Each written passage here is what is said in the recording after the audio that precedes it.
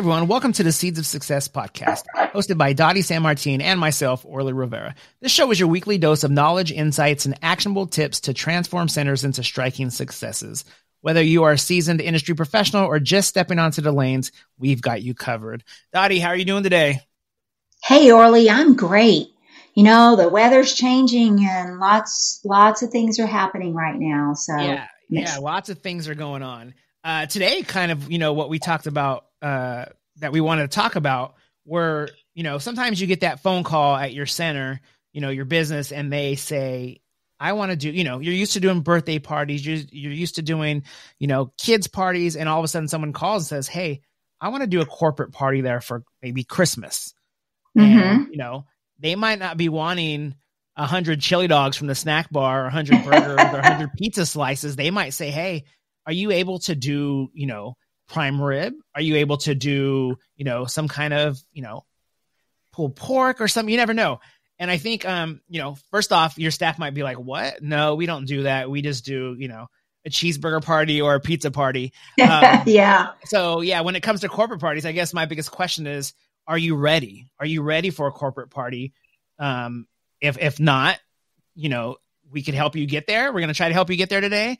And yes, you know, um, before just saying no, like I said, maybe your staff before they say no, think about it, see what you can do, and you're going to be, you know, you're going to be pretty pumped about what you can do in your center to offer these corporate parties to people, and they're they're a big deal. Right, and you know, well, first of all, yes, it is that time of year because here we are you know, going, we're in fall now and people are going to start getting in that mode that they, you know, and especially um, now, so many companies, so many businesses are struggling um, still to this day with staffing and keeping enough staff. Um, and so, at the very least, if they haven't done anything throughout the year, a lot of them are planning to do holiday parties to show their appreciation at the end of the year. And holiday parties are such huge opportunities in a bowling center, family entertainment center, because companies are willing to pay for them, provided you deliver what they're wanting, right? Yeah. And I think that's what we're going to talk about today. Yeah. Yeah, no, I mean there there's so much that um, you know, like I said, you might not think you're ready for it, but once you sit down, make a plan, you can be ready and it's, it's something great to offer and you know, one of the best things of it and you know, I might be jumping the gun again this part early, but you got to think about it. If somebody's bringing in 100 staff members, they might not be bringing in their whole family. It might just be that actually, you know, their employees. So that's 100 employees that you're having come in that's going to go back home and tell their family about your center. And yeah. This place was awesome. So, yeah, um, there's a lot of things. So, as far as being ready, I guess one of the main things is, I mean, your food. I brought that up. Somebody might not want 100 or 200 chili dogs.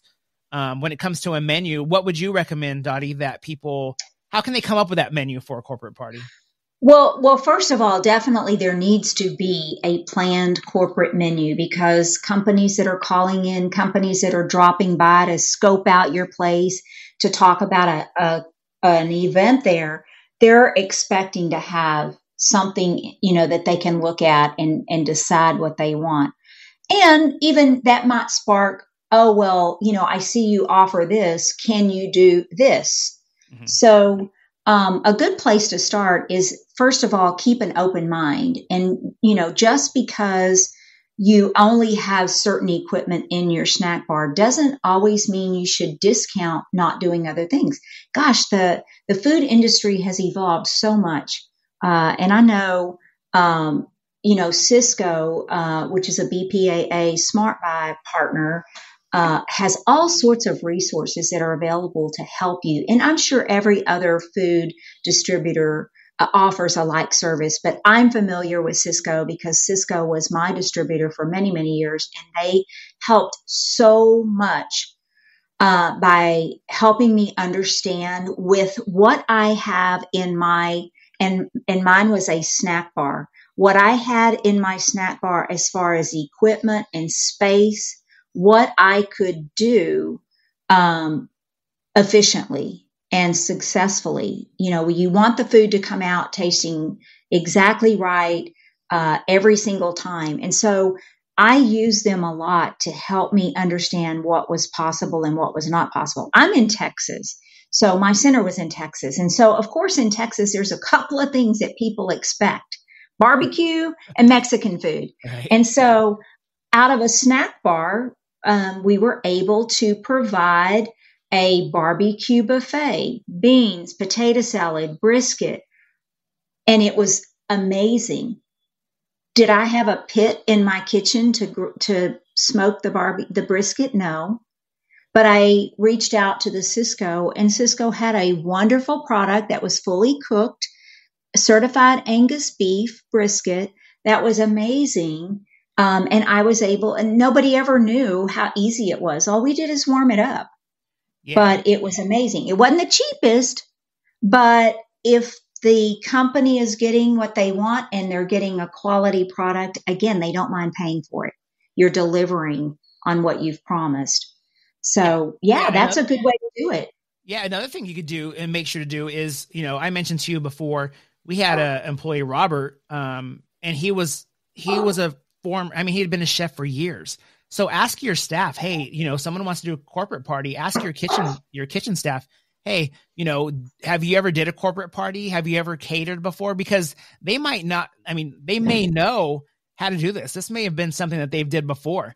So, for instance, like I said, Robert was like all about it. We were like, you know, he's making yeah. burgers for us and stuff, but he's used to that those big corporate parties, the catering. So he was excited. He was like, "Oh yeah, we can do this and we can do that." You know, you could get the tablecloths from you know your your I forget what you call that. Uh, you know, the people that bring your carpets, your rugs, and your you know your yeah your linen service. Yeah, he knew all about it. So reach out to your staff, mm-hmm. ask them. They might know uh, more than you think about when it comes to catering a party. And and speaking of tablecloths, not only you know if you're used to doing you know your chili dogs and all that, and you're going to do this big corporate dinner you got to think about presentation too. Oh, that's huge. Absolutely. So, you know, presentation as far as how you're going to plate things. Um, and, and you touched on something. I want to go back real quick and talk a little bit about that. If you have a linen service, it's providing like your mechanic uniforms or your rugs or your mops or whatever.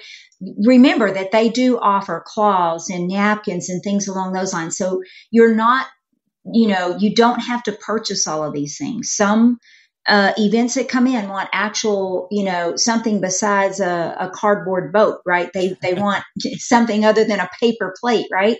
So there are places that you can rent the the you know the silverware or the the dishes or whatever. Even the and there's coats. also if your place doesn't yeah. wear chef coats, you could get those from those places too. You know, if you want them to, you know, some of the cooks are probably like, oh, you know, no one ever sees me. You know, I don't know how every kitchen, every kitchen's probably different, but you know, dress them up, spruce them up with some nice chef coats and let them bring out the food. You know, that's going to be exciting for them.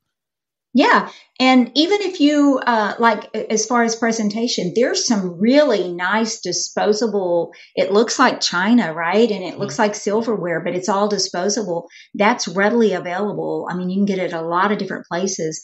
And again, all these things that you're doing, you're not expecting to expected to just, you know, absorb the cost. All of this goes into your corporate pricing that you have. So, um, you know, that's really, really important. So, you know, so the food is a big part of corporate. Uh, and you want people to come into your center and not only um, you know, uh, use the lanes and all of the other uh, activities that you have in your center, but you certainly want to encourage them to eat. And the first step in that is making sure that you have a well thought out, well planned out menu that's available for those events. Yeah, so, that's important to also have when when people are calling in to ask, you know, do you offer corporate parties? Have that under your counter or whatever, you know, in a binder so your staff doesn't say, uh, you might want to call back when my manager's here. They know more about that. You want them to be able to open it up and say, yeah, for corporate parties, we offer, you know, brisket, pulled pork, you know, we could do, you know, potatoes, rice, you know, all these different things. Um, yeah, I, I mean, if, and if you're not doing this yet, don't let this overwhelm you and scare you. Sit down with your cooks, come up with a plan, say, hey, I'm thinking of starting to do corporate parties, you know, what are some ideas that we could do? You know, like I said, they might not, they might know more than you think as far as preparing bigger quantities, you know, because a party, it might not be easy, easy for one or two cooks to cook 200 burgers. They're going to be like, man, we don't have enough room. We don't, they're not going to come out all at the same time. But if you're offering things that you could cook more in bulk, I guess, you know, like, you know, uh, you know, like pulled pork or beans or rice, like you said, those are all going to be things that are going to help, uh, help when it comes to those corporate parties. Yes, 100%, 100%. And you know, a lot of companies, they really don't realize, they don't even consider having a party at a bowling or entertainment venue because it's just not top of mind for them. Yeah. So they're used to to going to uh, banquet rooms at a hotel, and you know, you know how that goes. I mean, yeah. you're getting a, a, a menu that uh, isn't always the best, and there's no activity. So you have so much more to offer than like a hotel, and those prices. If you don't know what those prices are, call around and get some an idea of it because you will be uh, you will be surprised at what they charge. And you offer even more than that in a family entertainment center. You offer so much more than that. They can have activities, drinks, you know, the whole nine yards. So don't be afraid to price accordingly. But that kind of brings us into the next the next phase of this, you know, since we are in the talking about holiday parties, is the a, a bowling center, a family entertainment center can offer an experience. Mm-hmm. And that's what you should strive for is to offer that one stop, that completely, I, I want to say immersive experience. And there's a lot of ways that you can immerse the customers into the experience. It, um, but to be able to um, do something other than turning the lanes on and let them bowl. That's yeah. fun, yes, but that's not an experience. They don't walk away going, oh my gosh, that was so much fun. Yeah, you could come up with ideas, you know, um, you could come up with games to interact with them. You could be involved. You know, it's not just that they're going to, oh, this party's coming in, they're using our room, they're going to use our lanes. If you're actually kind of hosting the event for them, also helping them with that, you know, and you probably have staff members. Again, we always say ask your staff members or get your staff members involved. You might say, hey, does anybody want to help host this party? And there might be someone like me that loves to talk, mm-hmm. would love to have a microphone in their hand, you know, and play yeah. games with them. You know, I know you've mentioned the games, fun games like a like a let's make a deal if you let them mm-hmm. know, hey, you know, during your party, if you like, when people are bowling, we could, you know, turn on turn on our PA and we could do some games with you guys and we could help you with that. If you have a yeah. plan, you know, let them know about that too when they call in or when you're discussing because they might be like, oh yeah, because we don't know how to entertain people. So right, um, and the the other thing is you also have people that are coming in that may not be bowling you yeah. know that are just there maybe it's a spouse that's not you know the employee and and they're watching or whatever you want that experience to be inclusive of everyone. So you can do, you know, you can do those, like you said, the let's make a deal type, the next person with a hole in their sock or whatever. And trivia, you know, trivia even can include kids. You know, yeah. you can do Disney trivia and stuff like that. And you can leverage your, your employees to come up with those questions. They love, that's a lot of fun for them. But, you know, and, and on the lanes, you know, don't forget, as I said earlier, don't just turn your lanes on and let people bowl. Have a dedicated program that you offer for corporate events. Pull out some of the things that are in your system. If you are a Qubica AMF customer and you have BES X, there's several things that you can pull out of that system and put an entire a party program together on. Utunes is one of my favorites, right? Mm-hmm. For big groups, you can come out. It has the the feature that you can actually have a special animation set of animations for the boss, uh, as well as everybody else that that attends gets to have you, you know their picture in animation that's actually showing up on the screen, and it's a lot of fun. But where else can you go and see the boss in these crazy animations and get to laugh at him and or her and you know and and not like get reprimanded for it? It's a lot of fun. Every it brings everybody together. Nice thing about something like that within the system is at the end you can actually do a, like a group photo of everybody in their animation and it becomes a memory right? Something yeah. that they want to share and things like that. But there's a lot of other things just within your scoring system. So don't just turn the lanes on.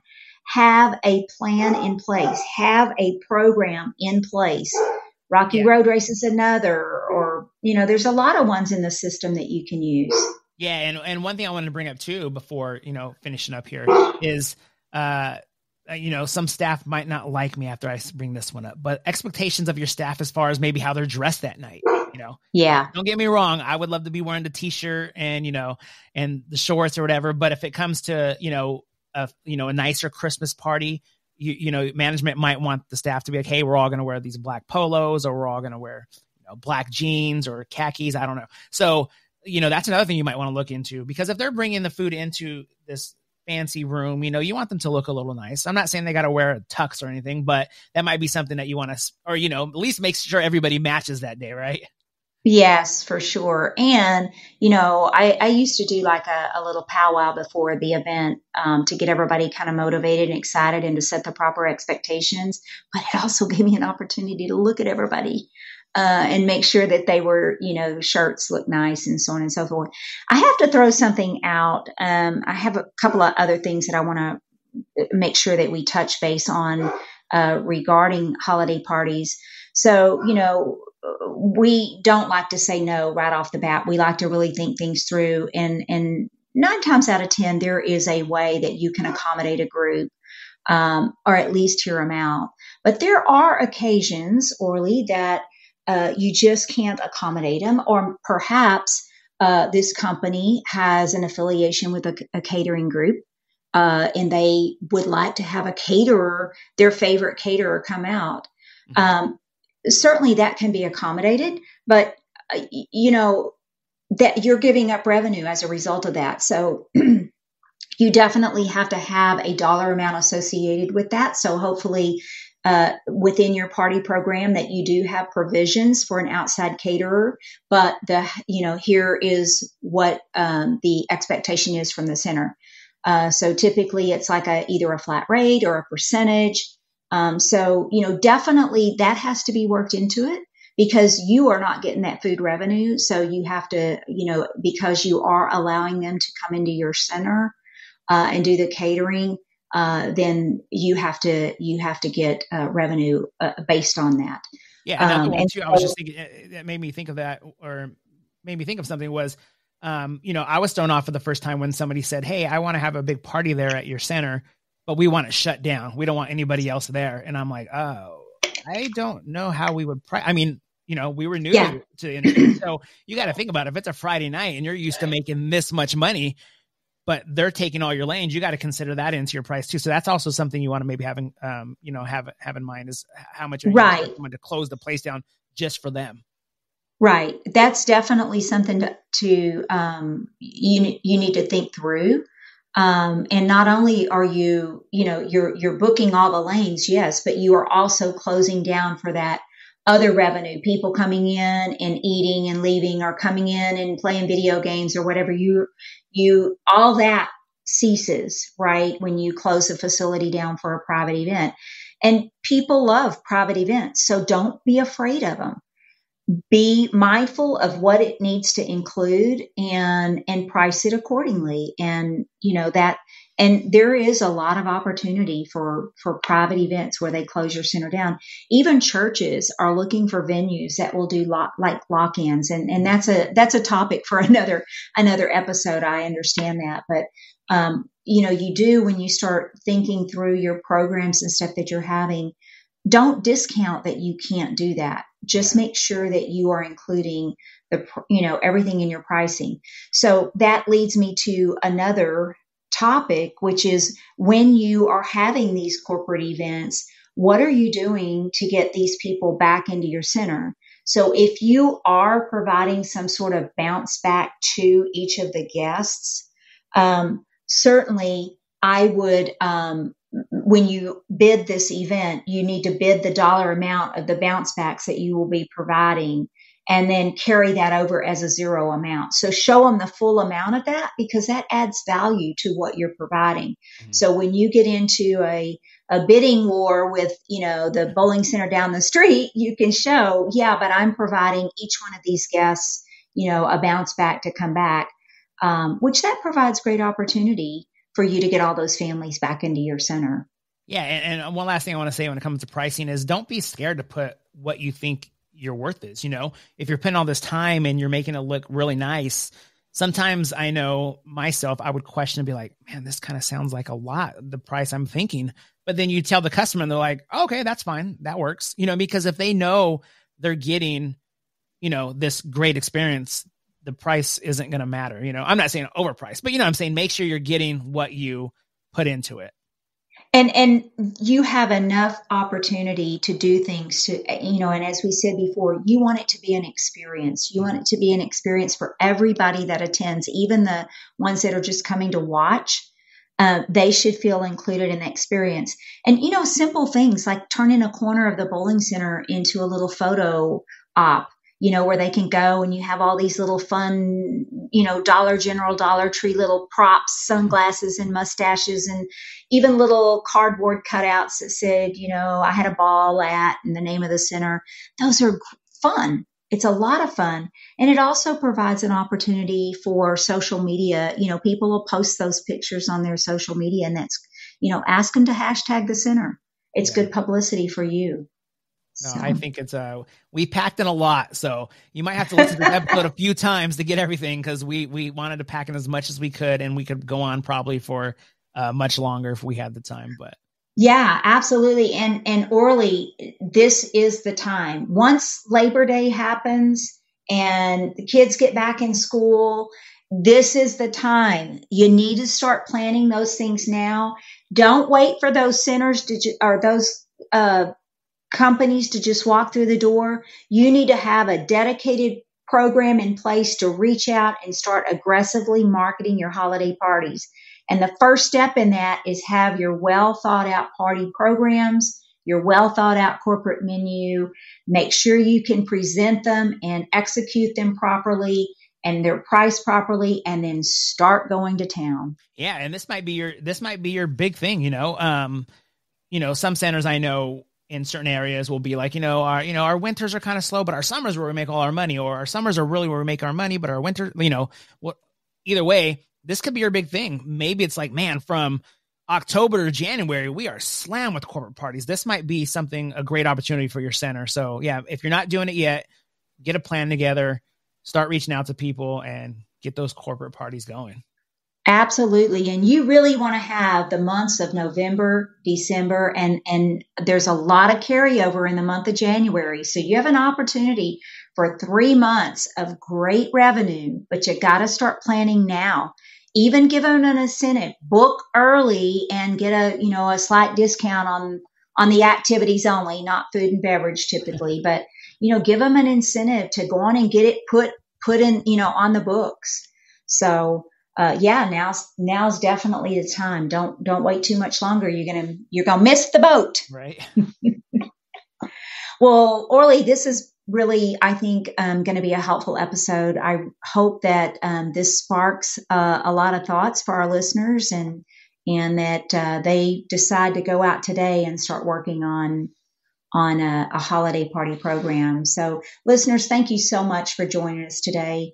We look forward each week um, for another episode of, of Seeds of Success. Our goal is to equip you with more practical tips, ideas, and trends that'll help your center grow and achieve new levels of success.